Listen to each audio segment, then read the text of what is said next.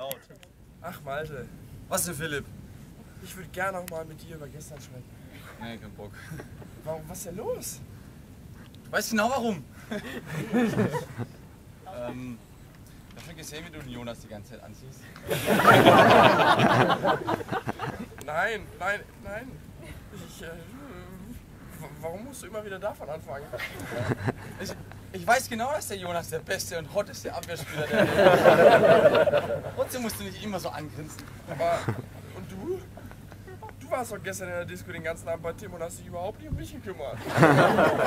Oh Philipp, jetzt machen wir doch bitte vor den Leuten hier keine Szene, ja? Das ist genau das, was ich meine. Ja? Mit Jonas kann, er, man immer über sowas reden. Der hört einfach zu. Ja? Was soll das jetzt heißen? Ihr habt immer noch Kontakt.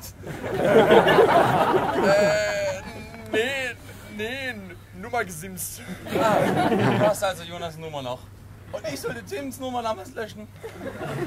Mensch, Malte, du weißt ja, du hast andere Qualitäten. Ja, das, denk doch mal an unsere guten Zeiten. Ich kann mich kaum erinnern, Philipp. Du erinnerst dich nicht. Unser erster gemeiner Abend. Damals in Brasilien. Unser Lied. Unser Lied. Ja, Philipp, du hast recht. Wie konnte ich das vergessen? Okay. Okay. Oh, nee.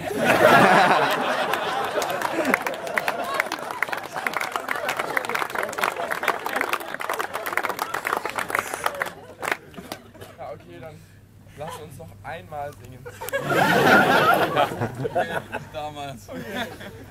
Atemlos durch die Nacht.